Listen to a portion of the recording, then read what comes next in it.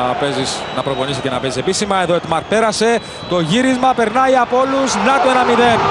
Ο Μάρκος Τακπατζούμη στο πρώτο του εφετινό γκολ στο ημίωρο του ντέρμπι. Πάντως το γεγονός ότι χτυπήθηκε γρήγορα το φάουλ είναι αυτό που έχει ξεσηκώσει και έλα διαμαρτυρία μου στο λευρέ από όλων. Θα παρακαλέσω στο σκηνοθέτη μας αν μπορούμε να δούμε την φάση από το ξεκίνημα για να δούμε όλα αυτά που λέει ο, ο Ηλίας ο Πονηρός. Πέρασμα για τον Ρέζεκ. Μαρκάρισμα από τον Μπεμπέ και φάουλ. Αποβάλλεται ο Μπεμπέ στο 36. uh, που σύνδεν uh, του αμυντικούς μέσους με τα μεσοεπιθετικούς. Ε, Εδώ έχουμε επιθετικό φάουλ και Κόκκινη. δεύτερη στο Στογιάνοβιτς. Καλό κάνει κίνηση, παίρνει μπάλα και πάλι για τον Τακπατζούμι. Ζητάει ο Σαρδινέρο το γύρισμα που γίνεται. Ο καλό είναι πιο πίσω. Μαζεύει σε δεύτερο χρόνο την μπάλα. Με τον Μούλντερ τον αποφεύγει. Πέφτει κάτω. Κόρνερ δίνει ο Νικολάου. Διαλό θα κλέψει από τον Ρέζεκ. Θα περάσει για τον καλό. Πέρασμα για τον Τακπατζούμι που έχει ευκαιρία και 2-0. Μάρκος Τακπατζούμι στο 58.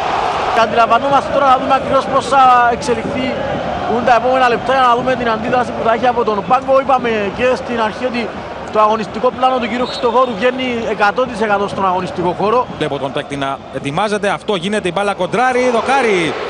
Η μπάλα στον καλό. Τώρα το σουτ. Δεύτερο δοκάρι από την απόκρουση του Βάλε. Απίστευτη ευκαιρία για την ΑΕΛ να τελειώσει το ντέρμπι. Σαγκόη απευθείας στο τείχος. Δύσκολα ο Ρομέρο σε κόρνερ. Καλό άνοιγμα. Τον επιτηρεί ο Ετμάρ του Ραμ.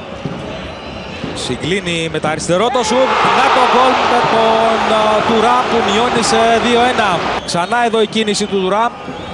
Άδειασε τον Ετμάρ. Πολύ ωραίο σουτ στη γωνία του Ρομέρο. 1-2. Μιλε...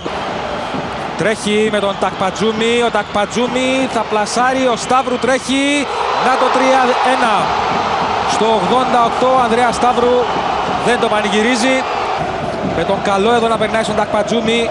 Να μην μπορεί να κάνει καλά το σουτ. Ο Σταύρου όμως ακολούθησε την φάση. Και έστειλε την μπάλα στα δίχτυα. Κίτρινη στον α, Σταύρου. Ε, ο- όπως και να το κάνουμε Να νομίζω δούμε εδώ ότι τον Τσαγκόη, ο Νσίφορο, η σέντρα, κεφαλιά, 3-2.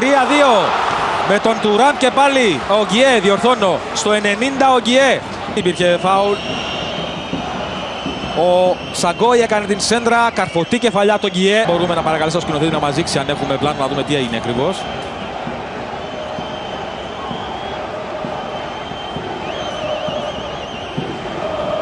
Εδώ σε αυτό το πλάνο φάνηκε πάντως ο Σαγκόη να φτύνει στο πρόσωπο του Ακπατζούμι. Γυρίζει πίσω στον Τουράμ. Το σούτ του Τουράμ ο Παπουλής δεν μπορεί. 3-3 ο αρχηγός ο Γιώργος Μερκής. Το σούτ από τον... ε, Εδώ βλέπετε είναι καλυμμένος ο Μερκής. Και από κοντά